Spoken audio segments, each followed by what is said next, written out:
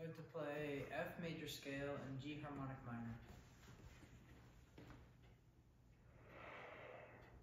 Uh.